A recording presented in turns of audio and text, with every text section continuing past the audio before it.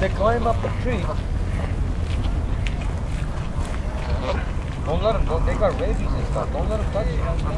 Morning. Oh, now you're in the camera. You're gonna be on, the, on China. Take a good picture. Look. Just, there you go. you need to, you know what, you gotta put it in the water for me because it's too dry for me. Here. Look, look. There you go. Oh yeah, they can swing around anything. The, the, little branch that's hanging.